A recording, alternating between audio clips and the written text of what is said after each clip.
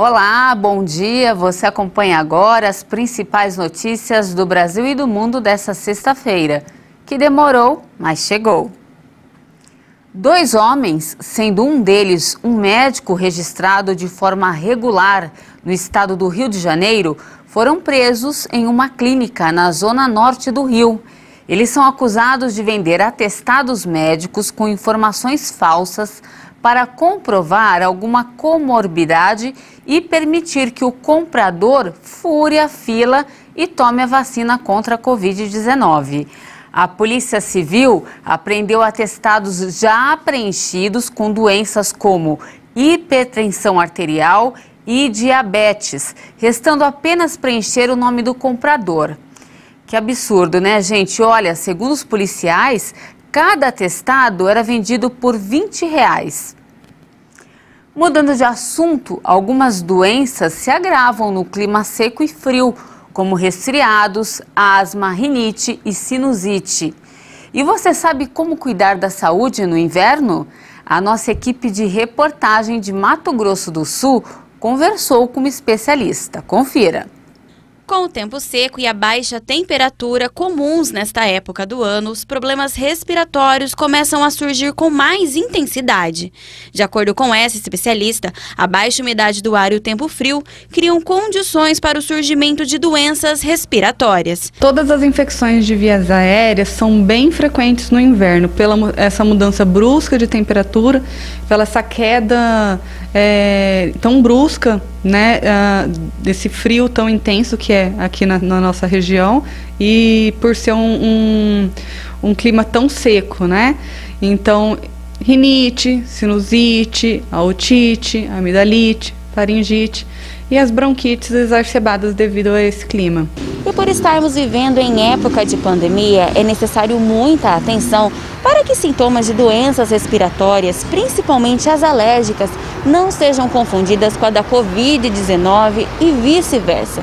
Por isso, nessa época do ano, os cuidados devem ser redobrados. Quem teve sequela, né, o, provavelmente já deve estar fazendo outro tratamento, acompanhamento com pneumologistas, né, a fisioterapia. Então, com certeza, o, o cuidado tem que ser redobrado, né, porque se tiver algum órgão comprometido, com certeza tem que, tem que haver mais atenção.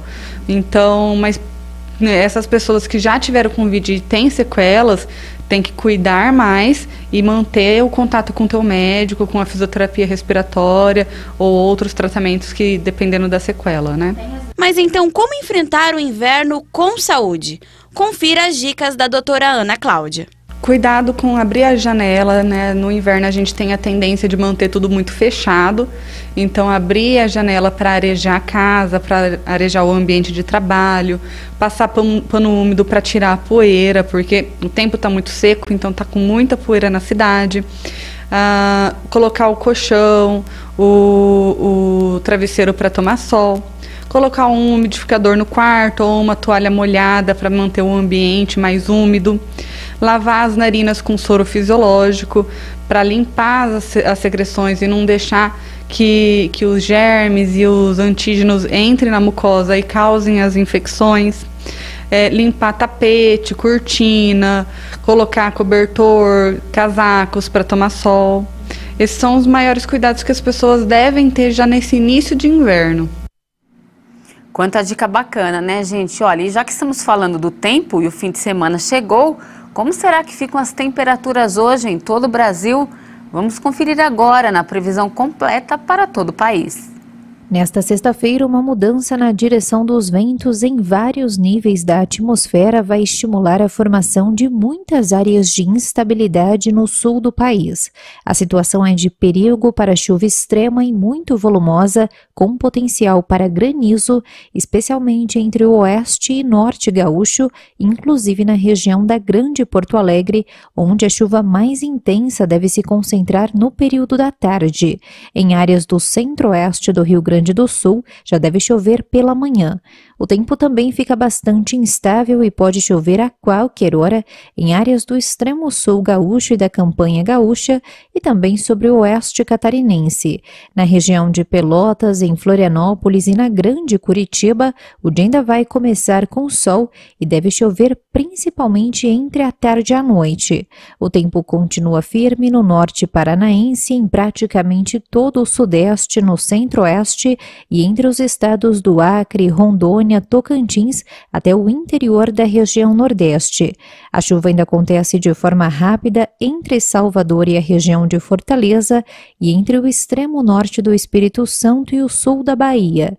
Nas demais áreas do país, as pancadas se concentram principalmente entre a tarde e a noite, com risco de temporais na região de Belém. O dia começa com 11 graus em Curitiba e faz 13 graus de mínima na região de Porto Alegre, máxima de de 25 graus na capital paranaense, faz 28 graus em São Paulo e 29 graus na região de Brasília. Para encerrar, a sexta-feira chegou e, como você já sabe, hoje é dia de dica com o nosso repórter Kleber Werneck. Você vai descobrir quais são as duas vitaminas essenciais para os idosos. No Agora para você.